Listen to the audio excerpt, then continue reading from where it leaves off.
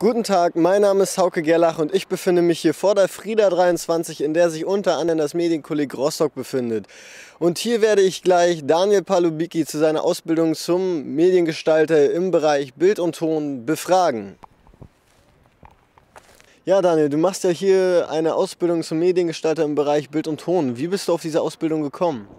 Ähm, ja, ich war schon immer interessiert in popkulturellen Inhalten und habe gedacht, Mensch, möchte ich gerne mal beruflich machen, um auch mal ein paar mehr Hintergründe zu erfahren. Habe dann gesucht, habe mich auch beworben bei Firmen und bin dann auch hier aufs Medienkolleg Rostock gestoßen und hatte mich dann einfach mal beworben.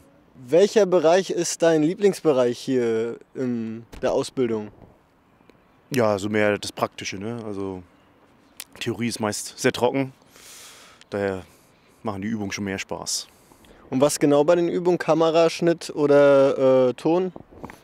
Ja, also Kamera macht viel Spaß, Schnitt auch. Regie führen tue ich auch sehr gerne. Ton ist natürlich, glaube ich, von uns allen nicht so die Lieblingsdisziplin, aber geht auch. du hast ja schon viele Produktionen hier in der Ausbildung mitgemacht. Äh, welche dieser Produktionen war bis jetzt deine Lieblingsproduktion? Ich muss sagen, äh, letzte Lichtgestaltung hat mir sehr gut gefallen, äh, weil da muss man auch sehr kreativ umgehen durch die verengenden Bildausschnitte. Aber ich muss sagen, auch das, das Hörspiel hat mir auch sehr Spaß gemacht, weil das mal was anderes war, mehr in die Tonrichtung.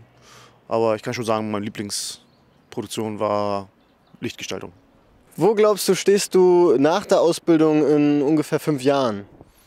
Ja, ich hoffe mal, dass ich mich etabliert habe, irgendwo freiberuflich oder in einer Firma. Auf jeden Fall hoffe ich, dass mir das dann immer noch Spaß macht. Und ja, wird die Zeit zeigen, was draus wird. Okay, danke für das Interview und schaltet beim nächsten Mal wieder ein, wenn es wieder heißt ein Interview mit Hauke Gerlach.